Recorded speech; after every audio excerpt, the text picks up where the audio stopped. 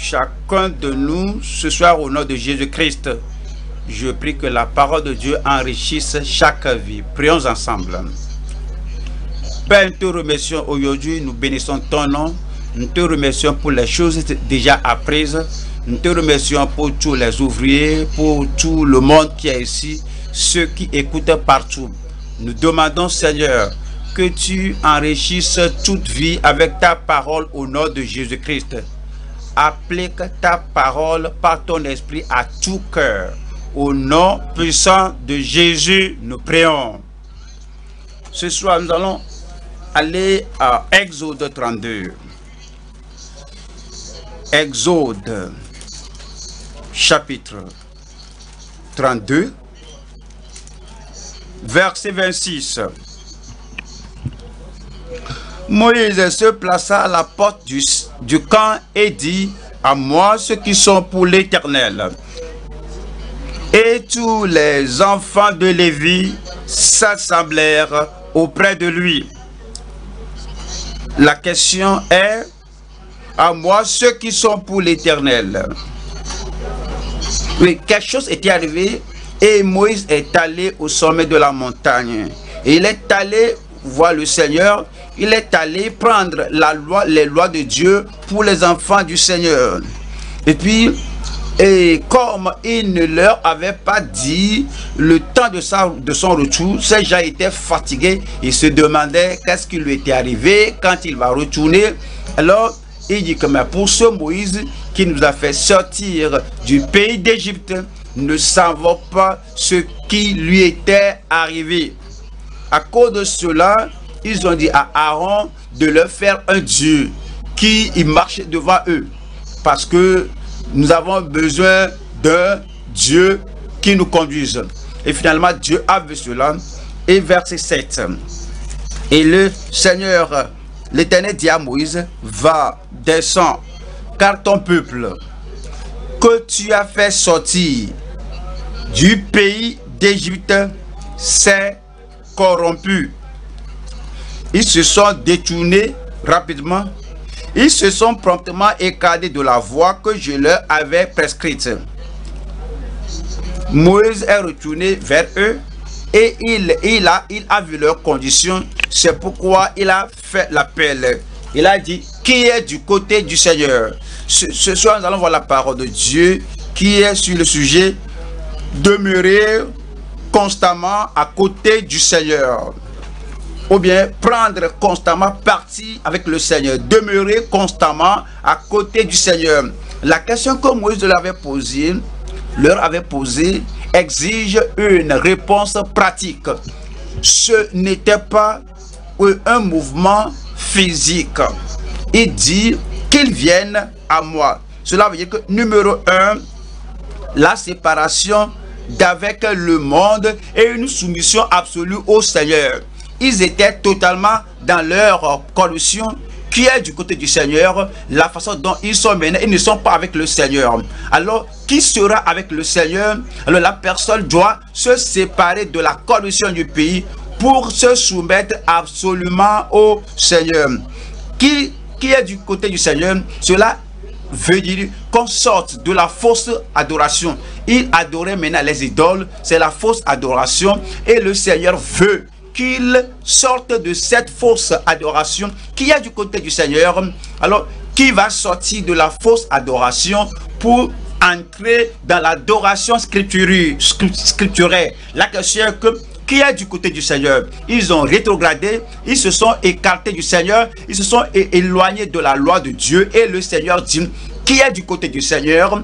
Alors que la personne s'écarte de sa rétrogradation pour venir croire maintenant à la vérité qui est du côté du Seigneur, l'implication est que qui va abandonner la corruption et le corrupteur pour s'accrocher à Dieu et à la piété qui est du côté du Seigneur, cela veut dire chercher à ne pas plaire aux pécheurs religieux parce qu'ils sont encore religieux et voici le Dieu qui vous a fait sortir du pays d'Égypte. Et maintenant, ils se sont écartés. Et alors ils doivent s'écarter de ces pécheurs religieux pour chercher à plaire au Seigneur seul. à plaire uniquement au Seigneur, plaire au Seigneur à tout moment et plaire au Seigneur à jamais, comme nous pensons à notre vie. Et nous ne parlons pas seulement de ceux qui ne sont pas sauvés. Ces enfants d'Israël étaient sauvés auparavant, ils connaissaient le Seigneur, mais parce qu'ils se sont écartés du Seigneur, c'est pourquoi le Seigneur les rappelait des choses qu'ils sont allés faire. Dans nos bureaux, la corruption est là. Dans nos bureaux, nous connaissons la fraude là-bas et le Seigneur nous pose la question qui est du côté du Seigneur, qu'ils viennent à moi.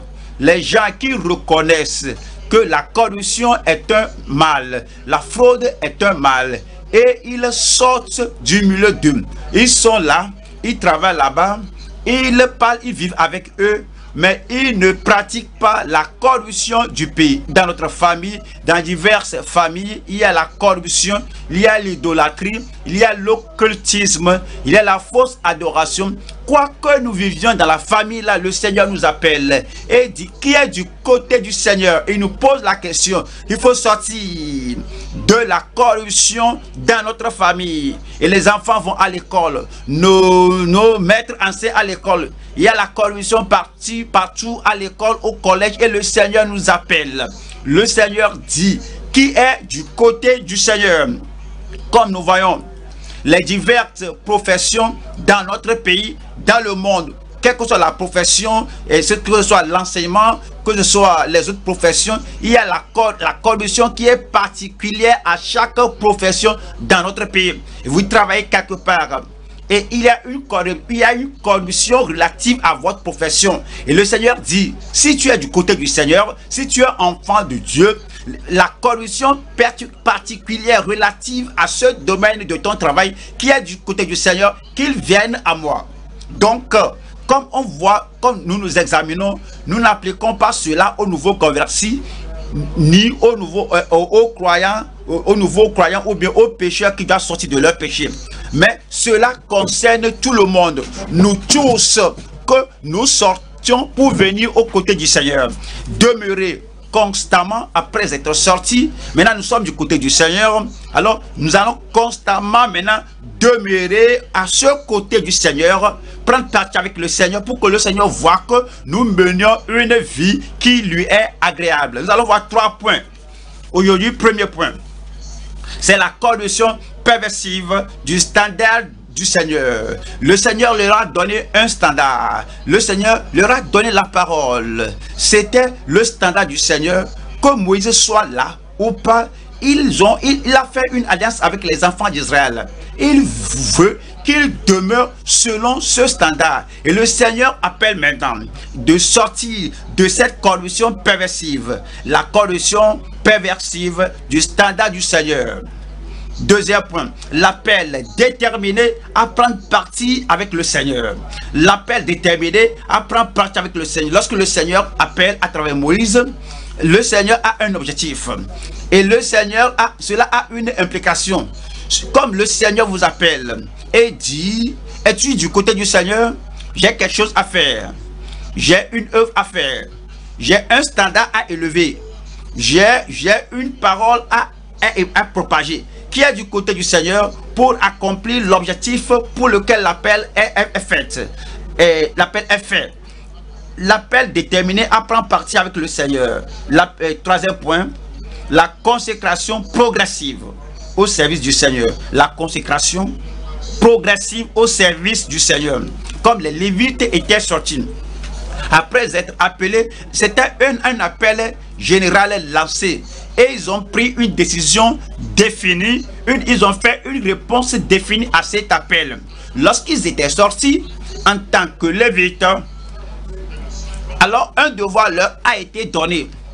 Et c'est alors leur pas c'est de se consacrer et comme les jours, comme les jours filent, comme les mois, les années filent, cette consécration que le Seigneur espère qu'il continue, qu'il persévère, alors, alors il progresse en cela.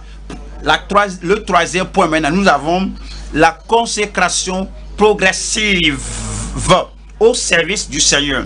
Nous avons le premier point qui est la corruption perversive du standard du Seigneur, du standard de l'éternel. Qu'est-ce qui leur était arrivé avant cet appel? Parce que si si nous ne connaissons pas le fond, l'arrière-plan, l'histoire, on ne sera pas en mesure de faire ce qu'on doit faire avec l'appel qui leur était présenté. Numéro un, c'est la corruption perversive du standard. C'est une corruption qui a envahi les gens. C'est une corruption euh, contagieuse qui a suivi tout le monde. C'est une corruption qui putréfie tout le monde. Cela a commencé d'une manière euh, perceptive. Ça a commencé avec de, une poignée de personnes qui visitent Aaron. Que devons-nous faire maintenant? Faire-nous un Dieu pour marcher devant nous. Et avec ce petit, ce faible commencement, cela est parvenu aux autres des enfants d'Israël. La corruption pénètre toute l'assemblée et affaiblit Aaron. Et puis il est devenu la source et le moyen par lequel la corruption a atteint toute l'assemblée, toute la nation. Au fait, la faiblesse d'Aaron est devenue un moyen de faiblesse pour tout le monde. La faiblesse d'Aaron, il était faible. À cause de cette faiblesse, maintenant, cela est devenu, oui, un moyen qui affaiblit tout le monde et les gens allaient de mal en pire. Et allons à Exode 32. Je lis verset 7. L'Éternel dit à Moïse, va descendre, car ton peuple, et non plus mon peuple, ils ont rétrogradé, car ton peuple, ce n'est plus le peuple de Dieu. Lorsque Dieu envoyait Moïse vers Pharaon, il lui a dit, laisse mon peuple aller. Maintenant, à cause de leur rétrogradation, il dit, car ton peuple, que tu as fait sortir du pays d'Égypte, s'est corrompu. Oui, c'est un libre arbitre.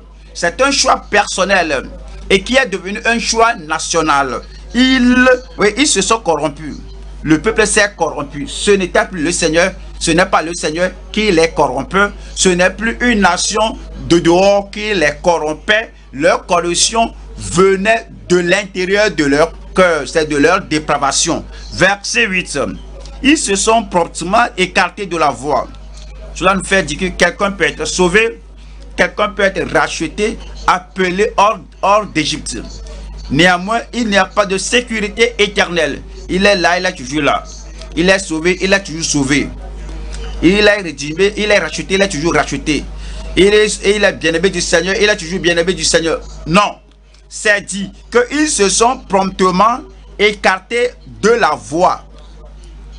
Ils étaient dans la voie au départ, maintenant ils se sont écartés de la voie. Que je leur avais prescrite. Ils se sont fait un veau en fonte. Ils se sont prosternés devant lui. Ils lui ont offert des sacrifices. Et ils ont dit, Israël, voici ton Dieu, qui t'a fait sortir du pays d'Égypte. L'Éternel dit à Moïse, je vois que ce peuple est un peuple au cou roide. Cela veut dire que ils, sont rebelles contre le Seigneur. Ils sont déjà têtus à la parole de Dieu. Et ils font ce qui leur semble bon. Ils sont obstinés. C'est un peuple au cou roide. Maintenant, laisse-moi. Ma colère va s'enflammer contre eux. Et je les consumerai. Mais je ferai de toi une grande nation. Deutéronome 9, après Moïse euh, se rappelait, leur rappelait ce qui était arrivé à l'époque là.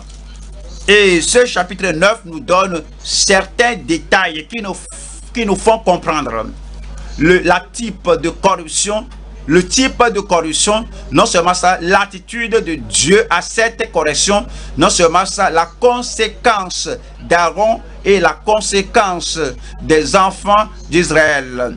Deutéronome, chapitre 9, verset 12. L'Éternel me dit alors, lève-toi, descends en hâte d'ici, car ton peuple, que c'est toujours ton peuple à cause de la rétrogradation, car ton peuple que tu as fait sortir d'Égypte s'est corrompu. Ils se sont proprement écartés de la voie que je leur avais prescrite. Ils se sont fait une image de fonte. L'Éternel me dit, je vois que ce peuple est un peuple au cou roide. Voilà le verset 20 maintenant. L'Éternel était aussi très irrité contre Aaron. Non seulement ça que Moïse s'était irrité contre Aaron, l'Éternel était aussi très irrité contre Aaron qui voulait faire périr. Cela vous montre la parole de Dieu. Cela montre très, cela montre de façon claire que si quelqu'un est dans le Seigneur, la personne est ben, bien, il est dirigeant dans l'église, l'un des pasteurs dans l'église, mais maintenant la personne a dévié et il s'est écarté du Seigneur. Le Seigneur s'irrite contre le pécheur, il s'irrite contre le rétrograde, il s'irrite contre le ministre qui fait que les autres se détournent de lui. Le Seigneur, l'Éternel, était aussi très irrité contre Aaron qu'il voudrait faire périr. Et si Aaron meurt sous cette condamnation, quelque chose que vous dites, alors lors euh, du culte funèbre, euh, euh, Aaron ne serait pas allé au ciel. Aaron aurait péri et passé l'éternité en enfer, mourir sous la colère de Dieu, sous l'indignation de Dieu apporte le jugement, le jugement éternel sur l'homme, le ministre ou qui que soit la personne. Je prie. Et ça dit que, et pour qui j'intercédais encore dans ce temps-là. Il a prié pour Aaron. C'est pourquoi Dieu a eu, a, eu pitié de lui. Je veux que vous compreniez que ce que Aaron a fait était une chose euh, particulière et les autres pourraient faire de pareilles choses, sans que cela affecte la nation. Et prenons l'un euh, des ramassis, du ramassis, qui a décidé de euh, faire une idole.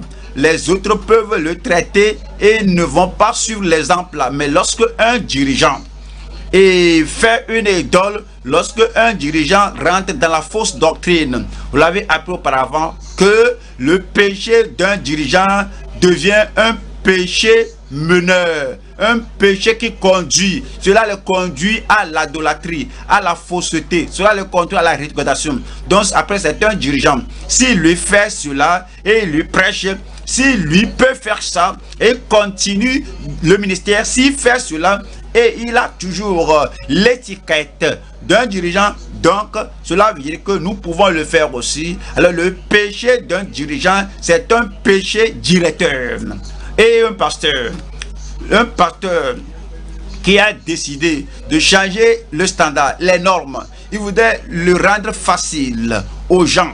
Un pasteur qui veut tripoter les choses, qui veut mutiler et modifier la parole de Dieu afin que les gens le trouvent facile, que les temps sont durs, les situations sont dures. Et donc, si ces gens-là euh, vont euh, suivre, donc il faut simplifier la parole. Donc cela devient un péché pour le pasteur là. Le pasteur d'un d'un pasteur devient un pasteur, le péché d'un pasteur devient un péché pénétrant. Euh, tout le monde dit que le pasteur voit cela. Le pasteur fait cela. Le pasteur a une concubine. Le, le, pasteur a la deuxième femme. La première femme est vivante. Le pasteur devient fraudeur. Le pasteur fait ceci et cela. Le péché d'un pasteur devient bientôt un péché pénétrant. Et le péché d'un ministre. Il prêche la parole il prête ou bien il ou bien ou bien il dirige la prière ou bien il sert dans n'importe quel domaine. C'est un ministre, c'est un ministre, un dirigeant de section. Le voilà. Il fait ceci, il fait cela. Et il a fait la chose à tel point que Aaron peut faire tout ce qu'il veut faire et personne ne le saura. Personne ne le défiera, ne le défiera. Il est au-dessus de tout le monde autour de Moïse. Oui, Aaron oui, un ministre fait cela, le péché d'un ministre est un péché séducteur. Un péché séducteur. Il y a des gens qui ne lisent pas la parole de Dieu. Alors, euh, ils lisent votre vie. Les gens ne lisent pas la parole de Dieu. Ils lisent les sentinelles. Ils lisent les gens qui déclarent la parole de Dieu.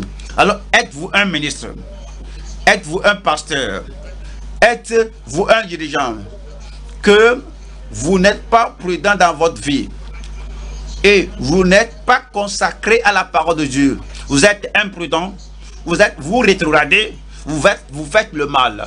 Vous visitez des lieux où un ministre ne doit pas aller. Le péché d'un ministre est un péché séduisant, un péché égarant.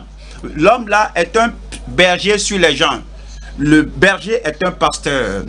Le berger est un pasteur sur une assemblée qui veille sur les gens, mais il ne vit pas bien. Il ne mène pas une vie de justice, une vie de victoire. Et il ne vit pas par-dessus le péché.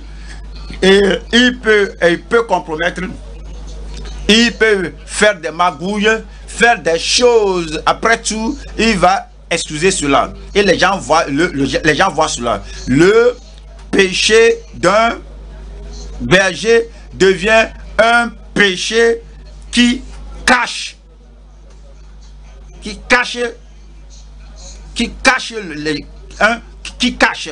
Alors, le, le berger fait cela. Si nous disons cela, si nous prêchons cela, il va croire qu'on pêche contre lui. Nous l'aimons à, sa destruction, nous le respectons à sa damnation et nous allons le cacher, nous allons le couvrir, nous n'allons rien dire qui fasse dire que eh, c'est lui qui est le berger qui a péché. Donc il couvre cela, il cache cela et cela affecte toute l'assemblée. Nos pères dans la famille, nos mères dans la famille doivent comprendre que, il des, que les enfants les regardent. Les enfants voient ce qu'ils font. Ils voient ce que le père fait lorsque maman n'est pas là. Ils voient ce que maman fait lorsque papa n'est pas là. Et puis si le papa, un papa qui se dit chrétien, se plonge à faire un mal, se plonge dans un péché dans la famille, le péché d'un papa devient un péché contaminant. Ça devient comme un cancer qui rentre dans la vie des gens. La maman aussi, qui mène une vie d'imprudence. La maman mène une vie pécheresse. La maman aussi, qui a une fausse adoration, qui a une fausse profession. Et il y a le péché dans sa vie. Le péché d'une maman devient une péché, une, une péché, devient plutôt un péché, un péché qui forme la vie de ces gens-là, la vie qui moule la vie des autres. Le péché d'une maman devient un péché qui moule la vie des autres. Au, finalement, l'idolâtrie, la corruption qui, qui, qui, sont rentrées en Israël devient, euh, euh, deviennent choses ouvertes. Le, un péché nu, un péché de polichinelle, connu à tous. Il n'y a rien pour voir que il n'y a rien pour corriger. Il n'y a personne pour corriger les autres. Cela continue comme ça. Le péché nul là devient un péché, un nourri. Qu'on voit comme un bébé. On le protège. C'est un péché nu. On le protège. On le dolote. Un péché nu devient un péché nourrissant.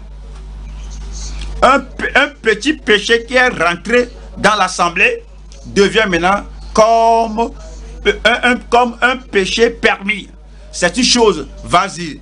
C'est une chose, petite chose, non. Il n'y a personne qui se dérange pour cela. C'est une petite chose. Il n'y a personne qui puisse te contrer. Parce que nous avons de petits mais dans nos vies. Donc, et ce petit péché-là devient une licence de, de le faire, de le commettre. Il y a des gens qui se disent qu'ils sont ouvriers, ils sont dirigeants, et c'est comme ils sont permis de commettre cela. Le petit péché là devient comme une licence, un permis d'aller. Et alors un péché nous devient un péché d'une assemblée, d'un groupe. Lorsqu'on commence, on fait cela la première fois, oui, vous voyez cela, vous êtes vraiment, et vous êtes sidéré. Et, mais comme les gens là continuent de faire comme ça, comme plusieurs années, si vous voyez quelqu'un euh, prendre une corruption, eh ben, la personne même qui prend cela essaie de se cacher. Après tout, il fait ça, il fait ça, il continue de faire ça. Jusqu'à ce que, alors, alors, à cela fait partie de leur vie maintenant. Alors, le péché ouvert devient un péché opérateur. La corruption est mauvaise. Cela conduit à la destruction éternelle, à la dévastation éternelle. Cela conduit à la damnation éternelle. C'est pourquoi le Seigneur nous met en garde que nous ne devons pas nous y engager. Qui est du côté du Seigneur, qu'il vienne à moi. Osez au chapitre 9. Osez. Osez 9. Osez 9, 9. Osez 9, 9. Osez 9, 9. Ils sont plongés dans la corruption. Cela fait partie dans leur vie, dans leur caractère. Ce n'est pas superficiellement. Ils sont plongés dans la corruption comme au jour de Gibéa. L'Éternel se souviendra de leur iniquité. Il punira leur péché. Allons à Malachie chapitre 2. Je lis verset 8. Malachie chapitre 2 verset 8. Mais vous, vous vous êtes écarté de la voie. Voyez ce qui était arrivé depuis le temps de euh, Exode qui continue jusqu'à venir à la fin de l'Ancien Testament. Mais vous, vous, vous êtes écarté de la voie. Vous avez fait de la loi une occasion de chute pour plusieurs. Vous avez fait chuter plusieurs. On ne reconnaît plus ce qui est bon. On ne, on ne reconnaît plus ce qui est le standard. Parce que les gens se sont vraiment corrompus du standard du Seigneur, des normes de la parole de Dieu, de la volonté du Seigneur. Ils sont corrompus de la révélation du Seigneur que maintenant il y a la, confusion dans la pensée des gens et plusieurs personnes se sont écartées du Seigneur. Vous avez violé l'alliance de Lévi, dit l'Éternel des armées. Et moi, je vous rendrai méprisable et vil aux yeux de tout le peuple, parce que vous n'avez pas gardé mes voix et que vous avez égard à l'apparence des personnes. Ils sont religieux, mais ils interprètent, ils font l'apparence de, personnes, ils adorent, ils sont religieux, mais ils n'adorent pas le vrai Dieu. Quand vous interprétez la loi, nous allons à deuxième Pierre, chapitre 2. Deuxième Pierre, chapitre 2. Nous lisons le verset 17. Ces gens-là sont des fontaines sans eau, des nuées que chasse un tourbillon. L'obscurité des ténèbres leur est réservée. Avec des discours enflés de vanité, et les amorces par les convoitises de la chair, par les dissolutions, ceux qui viennent à peine d'échapper aux hommes qui vivent dans l'égarement. Ils leur promettent la liberté quand ils sont eux-mêmes esclaves de la corruption. Ceux qui se plongent dans la corruption deviennent soudain esclaves de la corruption, car chacun est esclave de ce qui a triomphé de lui. Verset 20. En effet, si après s'être retiré des cieux du monde par la connaissance du Seigneur et Sauveur Jésus-Christ, et ils s'y engagent de nouveau et sont vaincus. La dernière condition est pire que la première. Ceux qui nous disent qu'une fois sauvé, on est toujours sauvé, il rate l'enseignement de la parole de Dieu. Le Seigneur dit que après s'être retiré des souillures, des souillures du monde, ça c'est le salut, ça c'est la rédemption, et c'est dit par la connaissance du Seigneur et Sauveur Jésus-Christ. Ils étaient sauvés par le Seigneur. Maintenant, ils s'y engagent de nouveau. Ils rétrogradent. Et c'est dit que lorsqu'ils rétrogradent comme ça, là, s'y meurent dans cet état et, ils sont vaincus. Leur dernière condition est pire que la première. Retournons à Exode 32. Exode chapitre 32, Exode 32, 31. Exode 32, 31. Moïse retourna vers l'Éternel et dit, Ah, ce peuple a commis un grand péché. Ils se sont fait un Dieu d'or. Pardonne maintenant leur péché et il n'a pas, il n'a pas, il n'a pas fini la, phrase. Le Seigneur ne peut pas, euh, le chien n'a pas vu la repentance. Il faut la repentance avant le pardon. Sinon, efface-moi de ton livre que tu as écrit.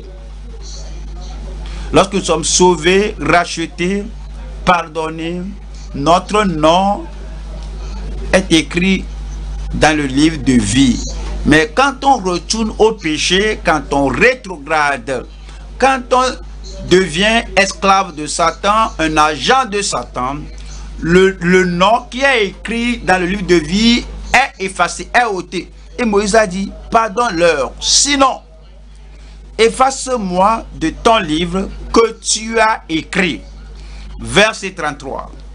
L'Éternel dit à Moïse, c'est celui qui a péché contre moi. Aaron, les, leaders euh, de, la tribu euh, de la nation d'Israël, les enfants d'Israël, quel que soit leur nom, leur statut social, leur nombre, Dieu ne fait pas acception de personne.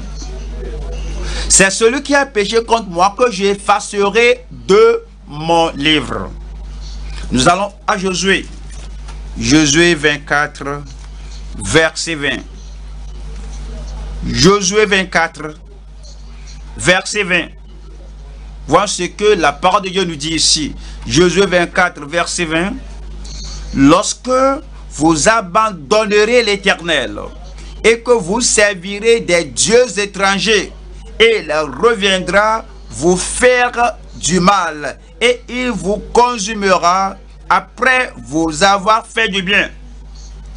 Si vous êtes miséricordieux, favorable, si vous a béni, si vous a fait du bien, si vous rétrogradez, si vous détournez de lui, si vous abandonnez le Seigneur, si vous allez servir des dieux étrangers, alors ce même Dieu deviendra le Dieu de jugement. Alors, il va venir vous faire, il reviendra vous faire du mal et il vous consumera après vous avoir fait du bien. Romains 8. Romains chapitre 8, 22. Romains 8. Romains 11. Romains 11. Romains chapitre 11, 22. Romains 11, 22.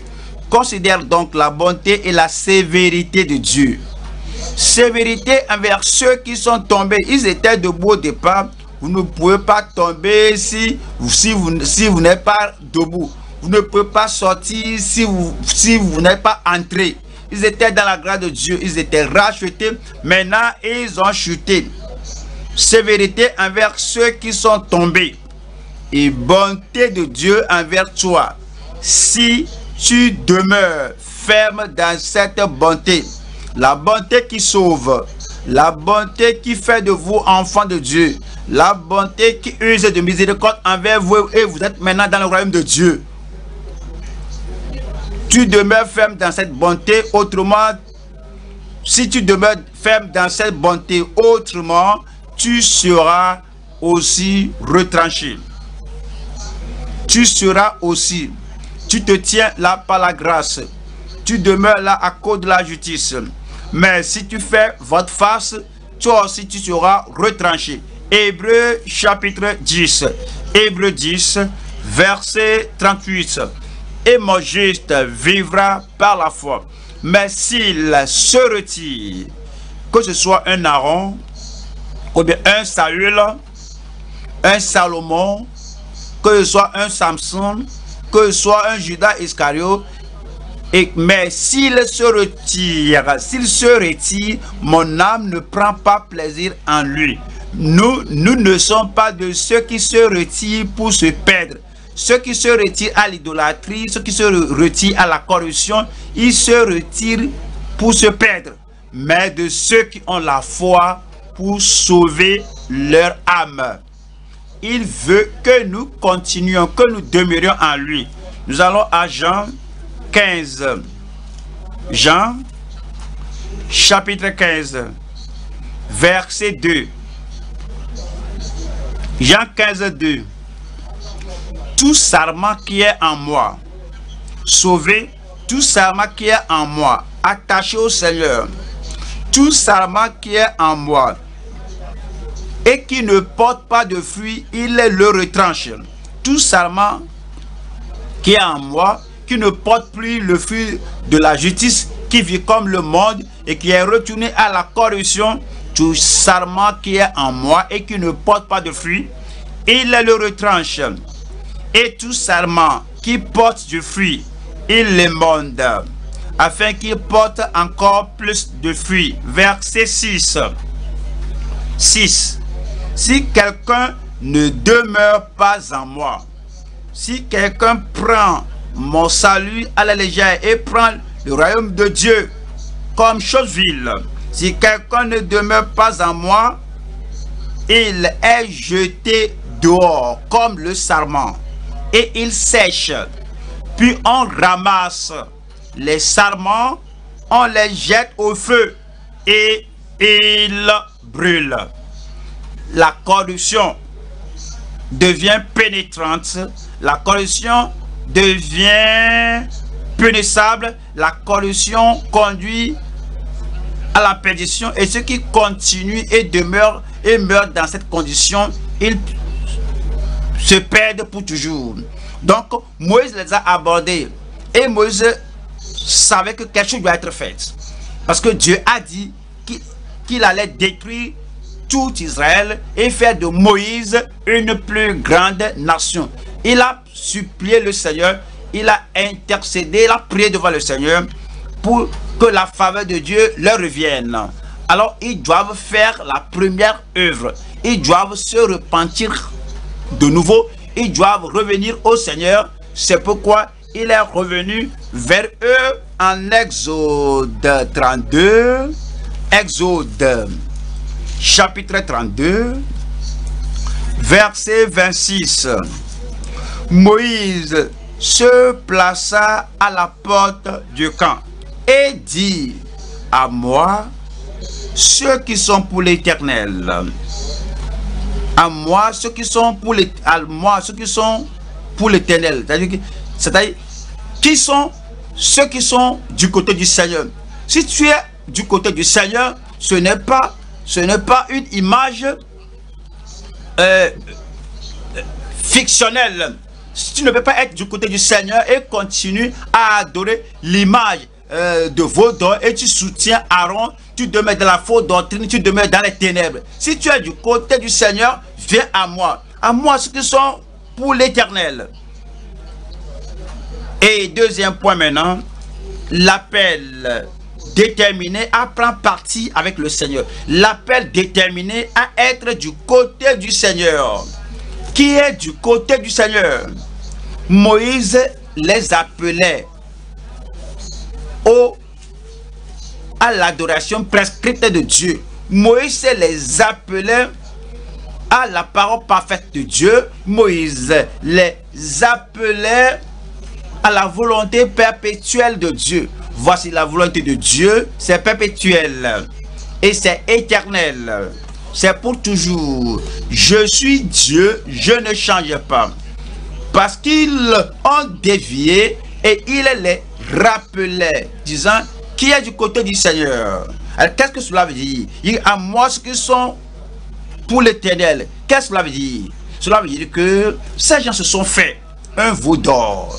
Et le Seigneur a dit que tu ne feras pas une image taillée. Qui est du côté du Seigneur?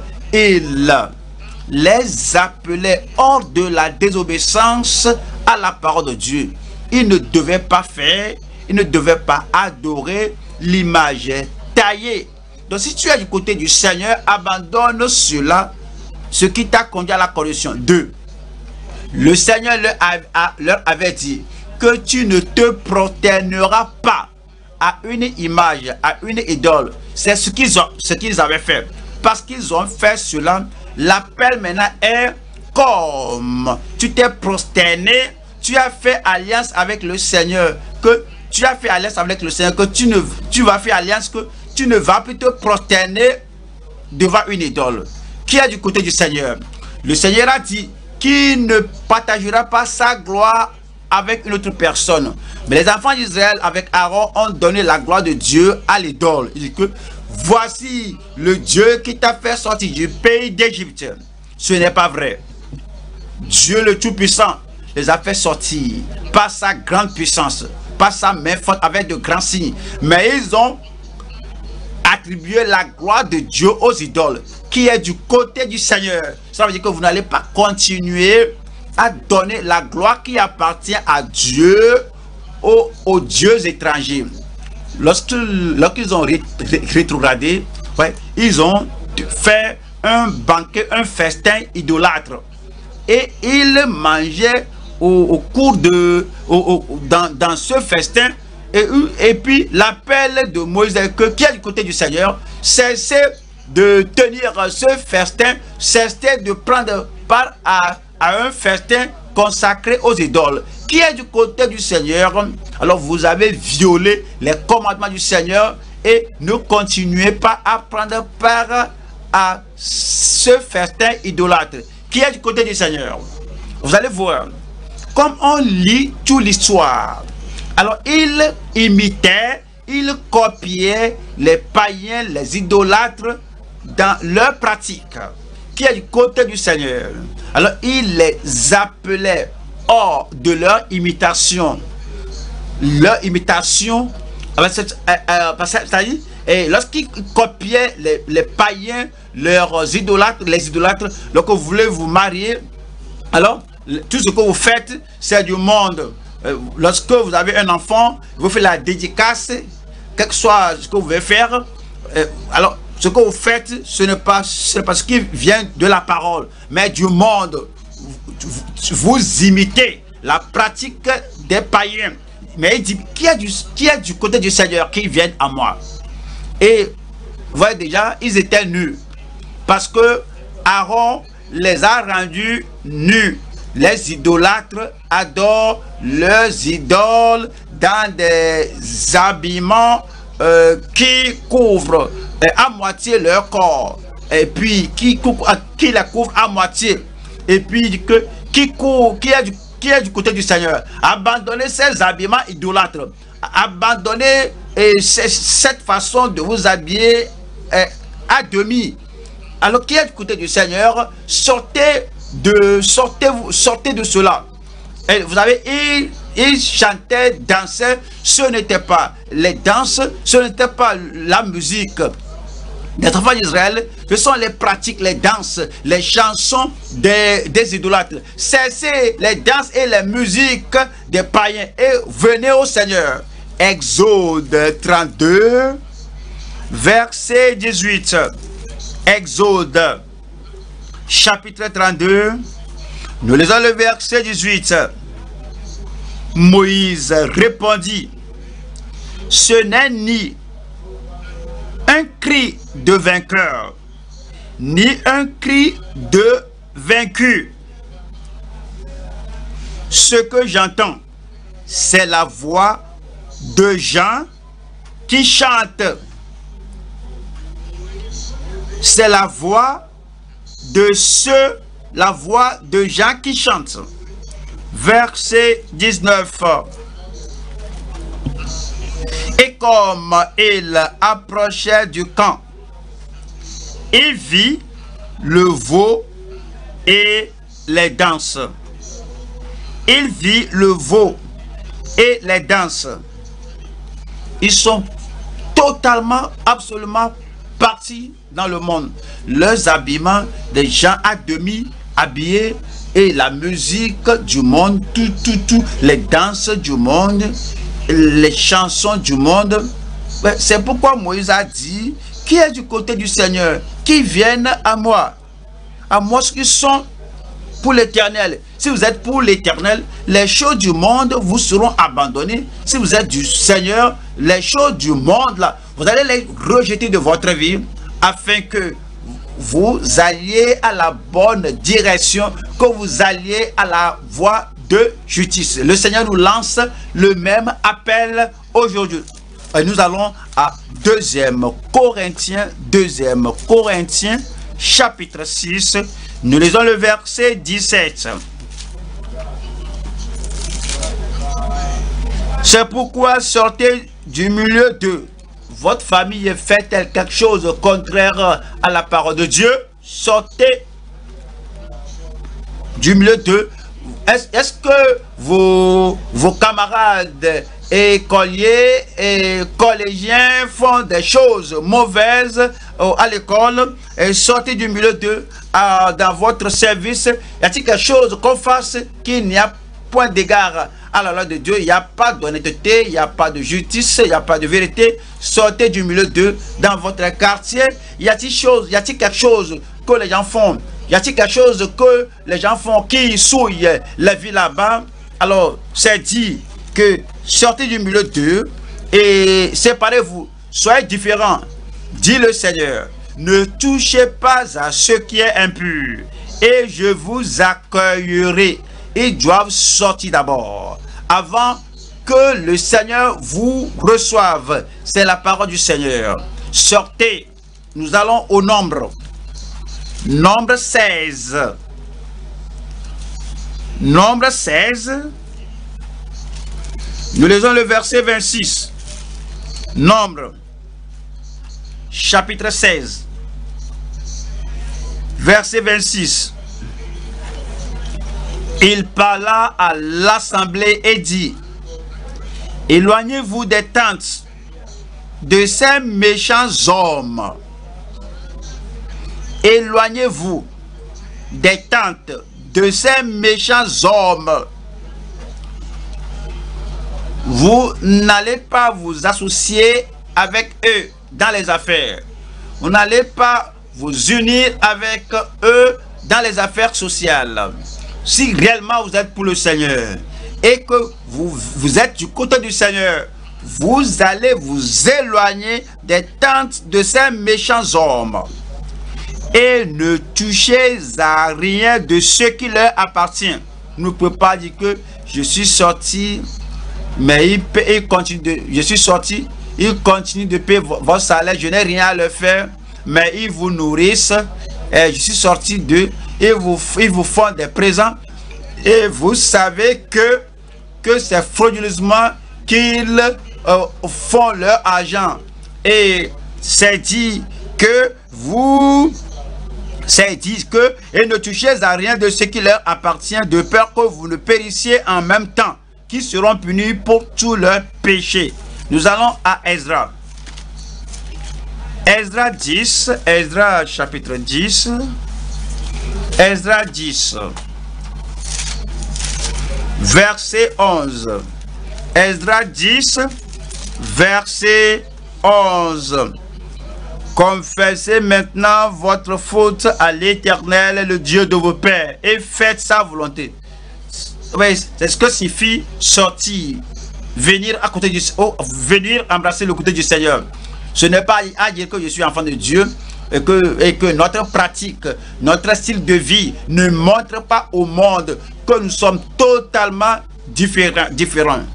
Et ils nous acceptent, ils nous approuvent parce qu'on fait tel qu'ils le font et on plaît à leur vie. C'est dit ici que faites sa volonté, qu'on fasse tout pour plaire au Seigneur. Séparez-vous des peuples du pays.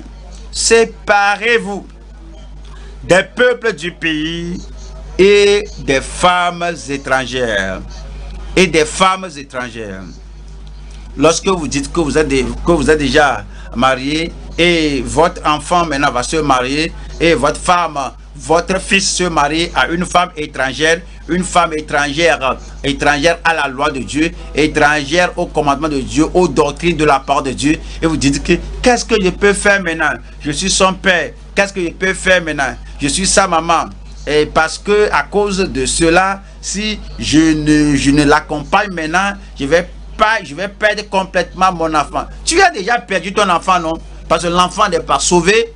Et déjà à 7 ans, l'enfant n'est pas sauvé. L'enfant veut se marier. Alors, et puis, l'enfant est allé amener une étrangère. Et tu dis, d'accord, ce n'est pas une affaire d'église. Ça, c'est mon affaire personnelle. Alors, c'est par toi de, de, de, ces, de ces gens étrangers. C'est la parole de Dieu. C'est ce que cela signifie. Donc, on n'a pas le droit d'aller dire à d'autres personnes qui est du côté du Seigneur, sortez-vous et venez à moi. Si nous, si nous nous-mêmes ne sommes pas totalement, complètement, absolument du côté du Seigneur, un compromettant ne peut pas aller dire à un groupe de compromettants qui est du côté du Seigneur qui viennent à moi. Celui qui nourrit, qui vit avec les gens du monde, qui mange avec les gens du monde, ne peut pas aller vers les gens qui font le fait que je fais partie, qui est du côté du Seigneur, qui viennent à moi. On ne peut pas venir à toi.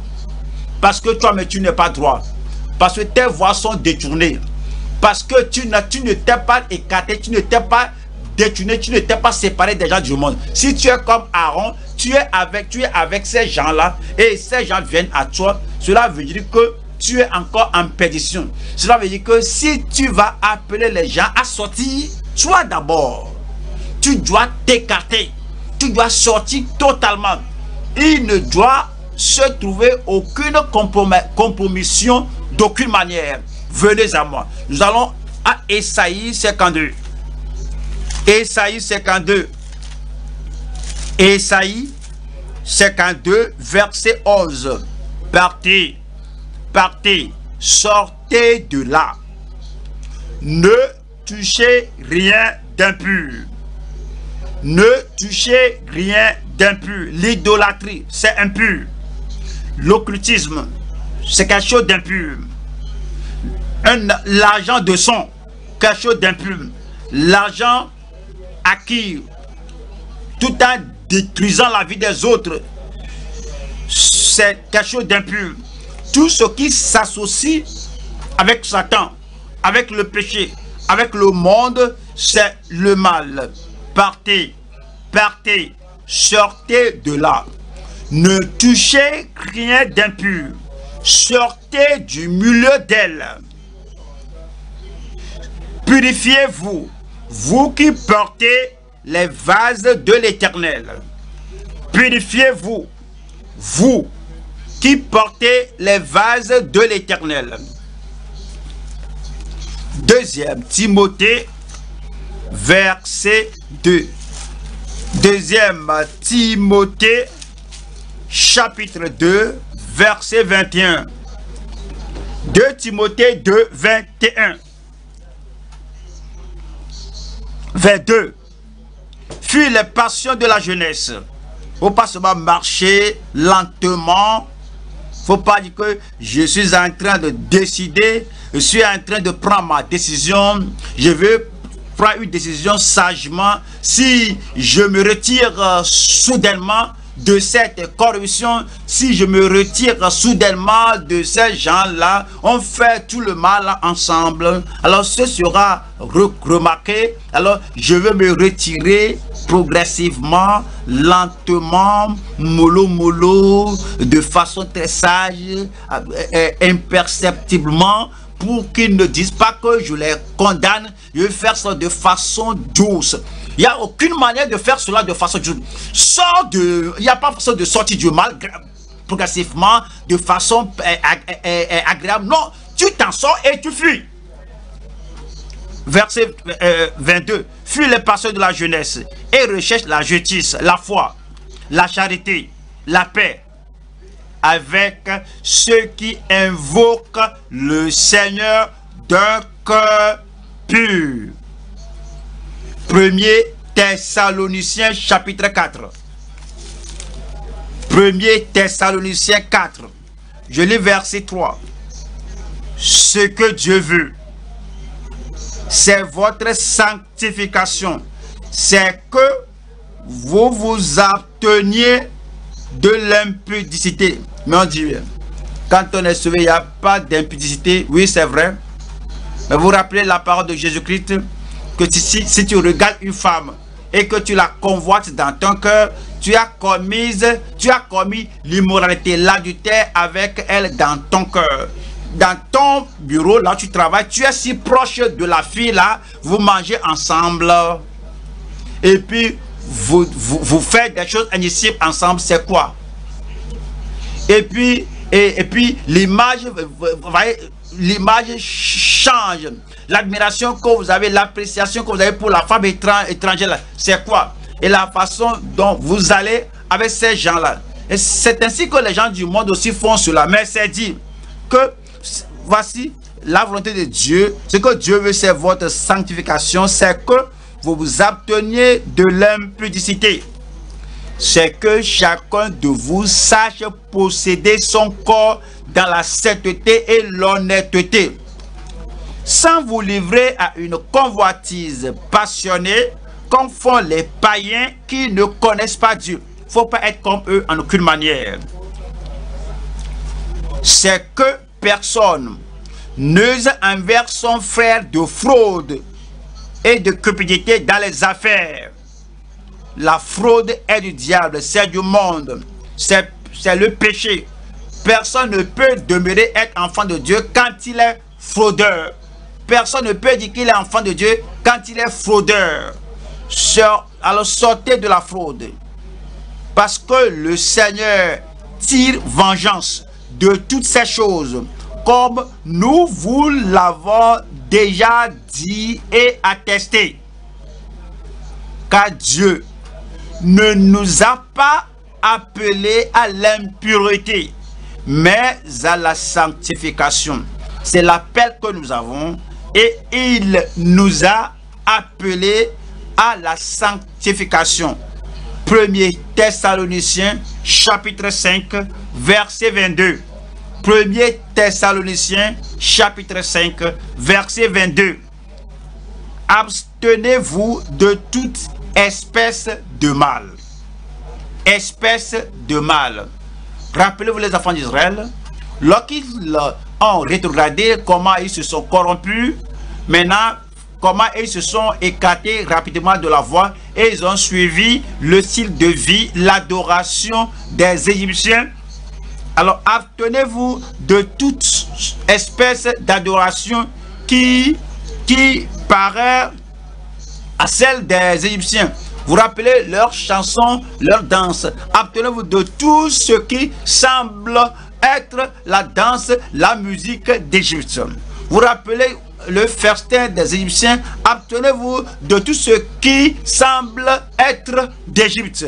Vous rappelez la nudité, leur nudité, les habillements, vous rappelez comment ils se présentent. Abstenez-vous de tout style, de tout mode qui semble être d'Égypte abtenez-vous de toute espèce de mal. Dans notre relation ensemble, dans, dans, dans la profession qu'on fait ensemble, le, le boulot qu'on fait ensemble, pour, euh, dans, le, dans le travail, dans la tâche, et les temps-là qu'on amène pour servir le Seigneur, Voici, comment il faut ça dans le monde. Dans le monde, comment euh, ils sont dangereux dans le monde. Ils sont, ils sont terribles et dévastateurs dans le monde. Alors abtenez-vous de toute espèce de mal.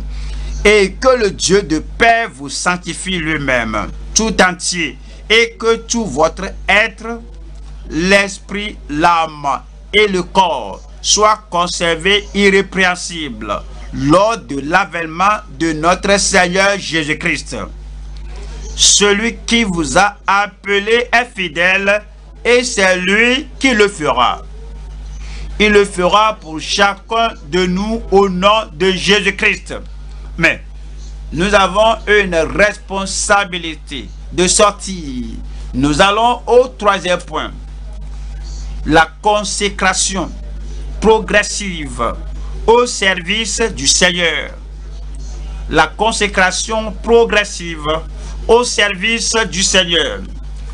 Nous allons à Exode 32. Exode chapitre 32 verset 29. Moïse dit, consacrez-vous aujourd'hui à l'Éternel. Consacrez-vous aujourd'hui à l'Éternel, même en sacrifiant votre fils. Si votre fils est là, consacrez-vous, sortez. Si votre fille ne va pas sortir, votre fils ne va pas sortir avec vous, faut pas dire que c'est mon fils. Donc, je dois aller avec lui. Je dois l'accompagner. La consécration exige que si ton fils ou ta fille ou quiconque proche de toi décide de continuer dans la voie de la corruption, tu vas t'identifier, tu, tu, vas te distinguer, tu vas te mettre à part, tu te consacres au Seigneur. Moïse dit, consacrez-vous aujourd'hui à l'Éternel, même en sacrifiant votre fils et votre frère afin qu'il vous accorde aujourd'hui une bénédiction. La bénédiction de la restauration, il faut la consacrer. La bénédiction d'être du côté du Seigneur, lorsque vous venez embrasser le Seigneur, vous devez vous consacrer. Et la bénédiction de la faveur divine, vous vous consacrez au Seigneur, vous consacrez à nouveau au Seigneur. Troisième point, la consécration progressive au service de l'éternel, au service du Seigneur. La consécration progressive au service du Seigneur ou de l'éternel. Premier chronique, premier chronique 29, verset 5. Premier chronique 29, verset 5. L'or pour ce qui doit être d'or et l'argent pour ce qui doit être d'argent et pour tous les travaux qu'exécuteront les ouvriers. Qui veut encore présenter volontairement aujourd'hui ses offrandes à l'Éternel? Qui veut encore? Qui est du côté du Seigneur? Si tu es du côté du Seigneur, alors l'implication est que tu ne vas pas venir te croiser et croiser les bras. Tu ne vas pas venir et rester oisif. Tu vas venir et te consacrer et tu viendras consacrer ton service au Seigneur ce jour.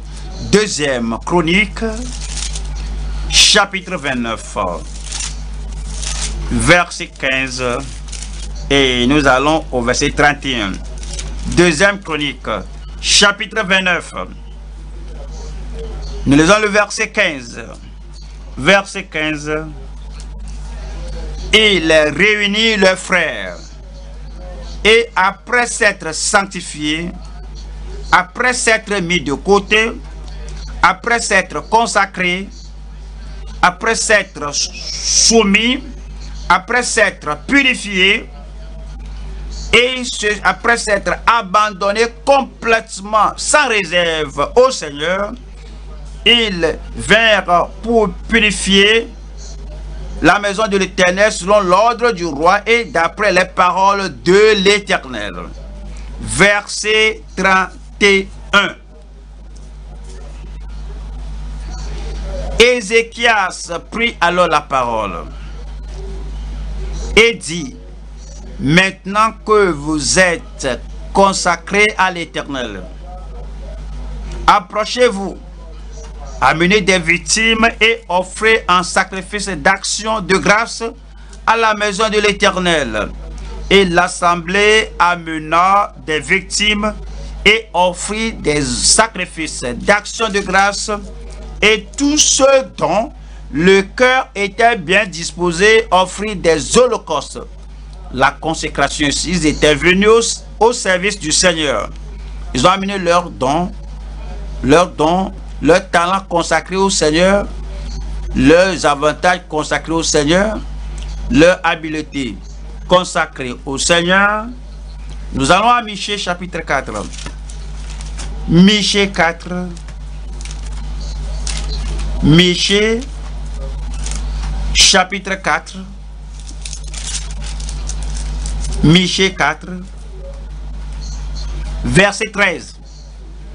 Fille de Sion, lève-toi et foule. Je te ferai une corne de fer et des ongles d'airain. Et tu boiras des peuples nombreux. Tu consacreras le bien à l'Éternel. Tu consacreras le bien à l'Éternel. Leur richesse au Seigneur de toute la terre. Il espère que ce que nous avons, ce que nous possédons, ce que nous avons amassé, que, que la chose-là, il espère que la chose-là serait consacrée pour le royaume de Dieu. 1er Corinthiens, 1er Corinthiens, chapitre 16, verset 15. 1er Corinthiens 16-15. Encore une recommandation que je vous adresse, frère. Vous savez que la famille de Stéphana, elle est prémisse de l'Achaïe qu'elle s'est dévouée au service des saints. C'est la sanctification, c'est la consécration, c'est une soumission absolue. Ils se sont dévoués au ministère, au service des saints. Mais nous parlons d'une consécration progressive au service du Seigneur. Si nous progressons dans le service du Seigneur, cela veut dire que notre consécration va crescendo. Notre consécration progresse. Pourquoi progresser? Parce que le Seigneur n'est pas un Seigneur immobile. Le Seigneur n'est pas un Seigneur stationnaire. Donc notre consécration ne doit pas être un, une consécration immobilisée. Ce n'est pas une consécration stationnaire. Quand nous croissons dans la connaissance de sa parole, on croit, dans la connaissance, on croit dans la connaissance de sa volonté, on croit dans la consécration, comme nous croissions dans le devoir que Dieu nous a donné, nous croissions en consécration. Numéro 1, nous croissions en soumission. On ne dit pas que oui, oui j'ai beaucoup appris, j'ai beaucoup reçu, je n'ai plus besoin d'autre chose. Tout ce que j'avais connu au départ, ça me suffit. Si tu continues de servir le Seigneur, si tu crois dans la consécration numéro 1, alors vous avez plus d'esprit d'être enseigné. Nous allons à Ecclésiaste, Ecclésiaste 4, 13, Ecclésiaste 4, 13, Ecclésiaste 4, 13. Mieux vaut un enfant pauvre et sage qu'un roi vieux et insensé qui ne sait plus écouter les avis. Plus de consécration veut dire que on se laisse être écouté. Ça veut dire que plus de prières. On se donne à prier aujourd'hui plus qu'hier. On prie sur les choses spirituelles aujourd'hui plus qu'on ne prie hier. Et les articles, les requêtes de notre prière s'élèvent et croient et croient et croissent profondément. Et plus de prières. On va à Luc 21, Luc 21, 36. Luc 21, 36. Veillez donc et priez en tout temps afin que vous ayez la force d'échapper à toutes ces choses qui arriveront et de paraître debout devant le Fils de l'homme. Voilà, la prière c'est une prière très élevée, très, très profonde. Euh, ceux qui prient pour les choses euh, matérielles, si, si on prie pour, pour être qualifié d'échapper à la grande tribulation, aux choses qui viendront sur le monde. Nous prions et nous avons plus de vigilance. Si nous sommes consacrés au Seigneur de façon très élevée, de façon très approfondie, il y aura plus de vigilance. Comme nous voyons le jour s'approcher. Si vous menez une vie euh, sans gêne et vous n'êtes pas très prudent, alors vous aurez maintenant plus de prudence. Premier Thessaloniciens 5, 1er Thessaloniciens 5, verset 2. Car vous savez vous-même que le jour du Seigneur viendra comme un voleur dans la nuit. Quand les hommes diront paix et sûreté, alors une ruine soudaine les surprendra. Comme les douleurs de l'enfantement se prennent la femme enceinte et ils n'échapperont point.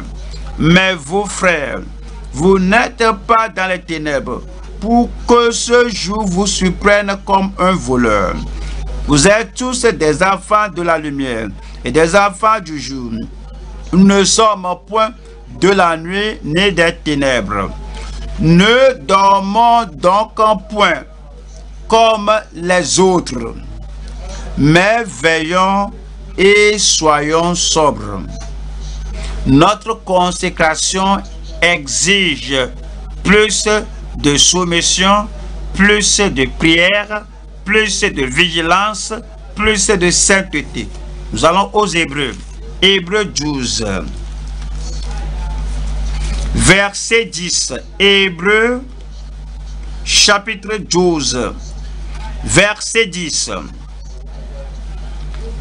Hébreu 12, verset 10 nous dit, Nos pères nous châtiaient pour peu de jours, comme ils le trouvaient bon.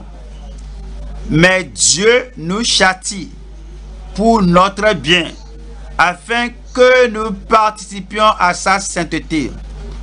Quand nous apprenons profondément de la sainteté de Dieu, nous ne prenons pas à ce que nous apprenons nous, participons, nous participons à sa sainteté, à ses attributs, à sa nature, à son caractère, à sa fermeté et nous participons à tous les attributs de Dieu. Plus de sainteté, donne-moi.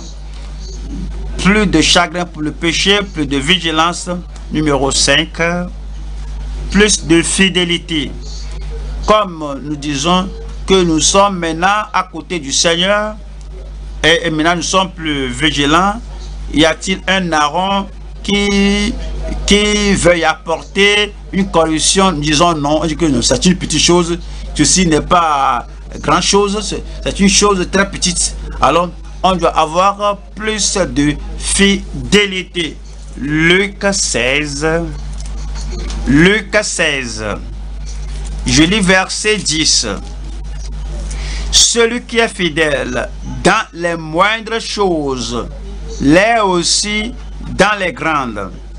Dans votre vie chrétienne, dans votre service chrétien, vous n'excusez pas de moindre erreur. Vous n'excusez pas de moindre imprudence, de moindre infidélité. Que ceci n'est pas grand-chose, ceci c'est quelque chose de secret. Cela n'affectera pas le service.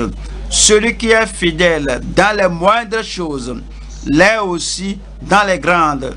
Et celui qui est injuste dans les moindres choses l'est aussi dans les grandes. Numéro 6. Plus de mortification au péché, au monde. Plus de mortification à la société mauvaise. Vous n'allez pas avec eux, vous êtes mort à, ces gens-là. Les choses qu'ils font ne vous excitent pas, ne vous intéressent pas. Vous êtes totalement mort à eux. Vous êtes insensible à eux. Ce qui fait rendre les gens enthousiastes, alors vous êtes, vous avez plus, de mortification envers ces choses du monde. Nous allons à Romains 6, Romains 6, verset 11.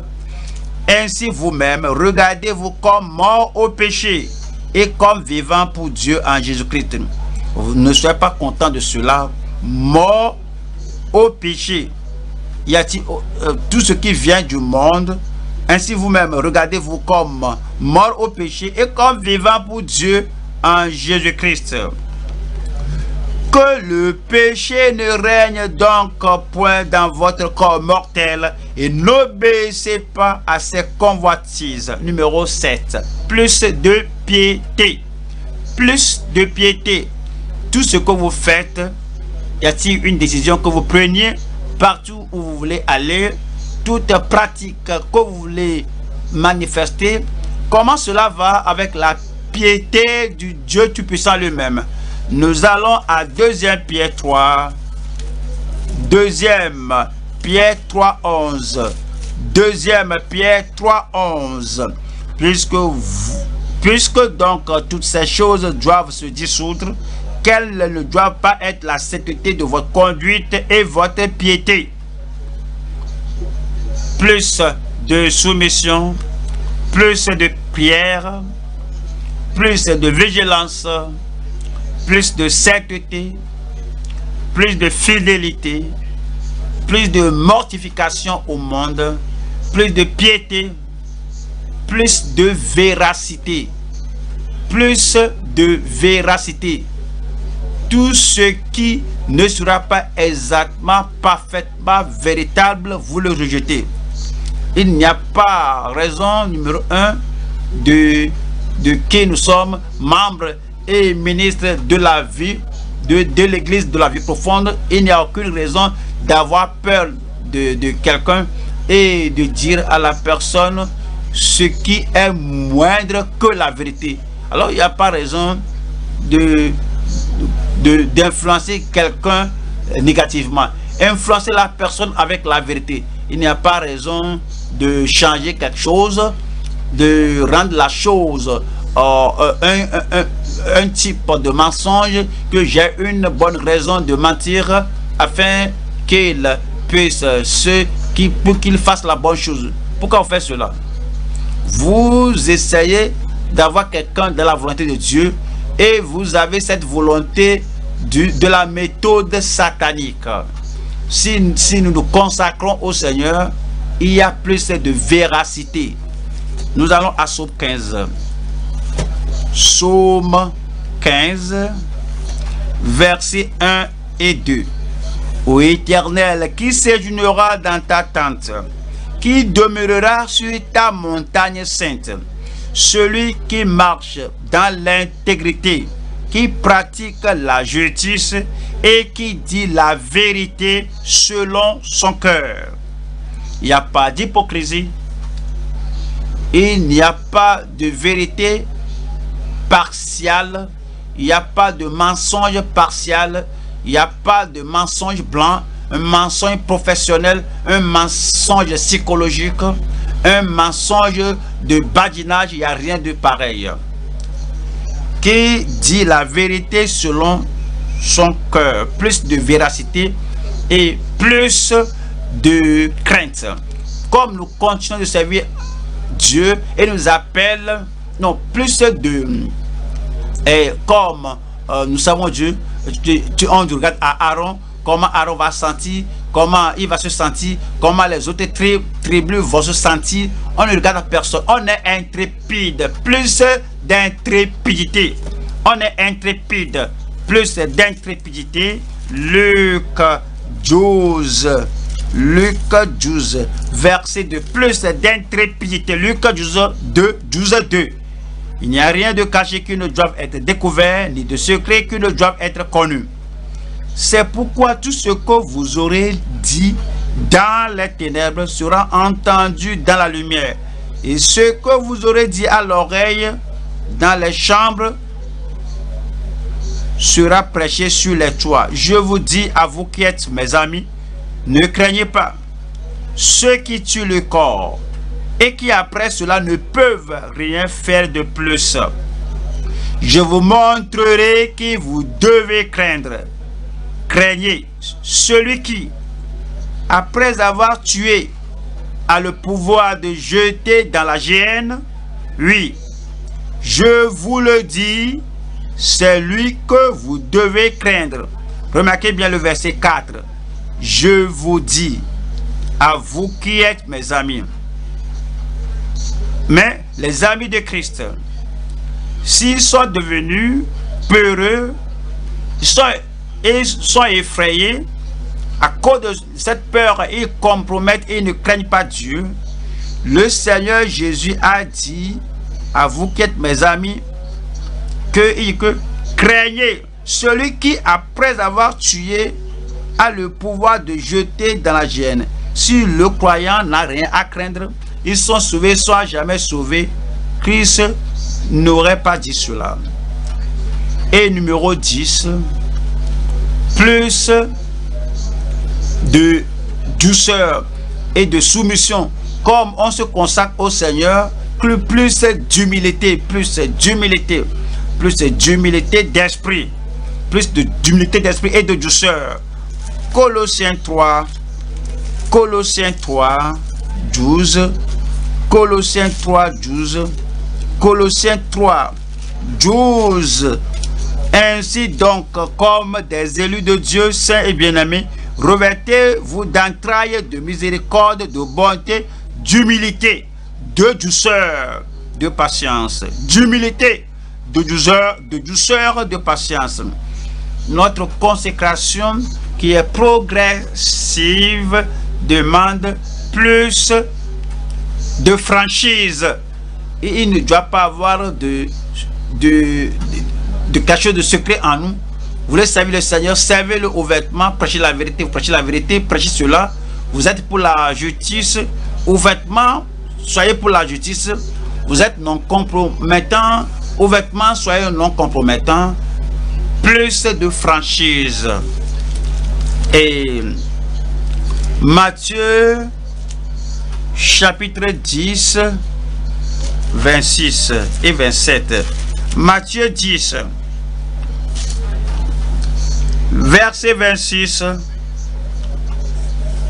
26 dit, ne les craignez donc point, car il n'y a rien de caché qui ne doive être découvert, ni de secret qui ne doivent être connus. Ce que je vous dis dans les ténèbres, dites-le en plein jour. Si nous sommes comme Jésus, c'est ce que nous disons aux gens. Ce que je vous dis, tu peux le dire partout. Quel que soit ce que je vous révèle, vous pouvez le dire partout. Quel que soit la, ce que euh, je vous dis en partenariat, vous pouvez le propager n'importe où. Et ce, ce qui vous est dit à l'oreille près, ce que je vous dis dans les ténèbres, dites-le en plein jour. Ce qui vous est dit à l'oreille, prêchez-le sur les toits. Et numéro 12, c'est plus de volonté. Vous êtes consacré au Seigneur, plus de volonté aujourd'hui, plus que jamais. La volonté de servir le Seigneur, la volonté de tout mettre sur l'autel, la volonté de faire tout ce que le Seigneur vous a donné à faire, la volonté. Psaume 110. Psaume Psaume 110. Psaume 110, verset 3. Ton peuple est plein d'ardeur quand tu rassembles ton armée avec des, ornements, avec des ornements sacrés du sein de l'aurore. Ta jeunesse vient à toi comme une rosée. Je prie que Dieu nous accorde plus de grâce, plus d'amour, plus de dévouement, plus de consécration, dans notre vie, n'allons pas rétrogresser. Notre vie ne va pas regarder en arrière. Notre vie ne va pas rétrograder. Dans notre vie, on ne va pas décroître notre consécration au Seigneur. Il y aura plus d'humilité dans toute vie. Il y aura toute de prière dans toute vie. Il y aura plus de prière, plus de vigilance dans ma vie, dans ta vie, plus de sainteté dans nos vies, plus de fidélité dans les moindres choses et les grandes choses, plus de mortification au monde, plus de piété, plus de véracité, plus d'intrépidité, plus d'humilité, d'ardeur, plus de volonté dans le service du Seigneur au nom de Jésus-Christ. Qui est du côté du Seigneur Vous êtes du côté du Seigneur. Tenez-vous debout maintenant et parlez au Seigneur. Je suis du côté du Seigneur. Et partout où vous trouvez, si vous voyez que vous vous rétrogressez un peu, un peu, et vous changez les choses un peu, vous êtes devenu paresseux, oisif, et vous n'êtes pas aussi fervent que vous l'étiez, vous ne l'étiez, alors c'est à vous de venir au Seigneur maintenant. Je dis que Seigneur, je viens pleinement à toi avec la soumission totale.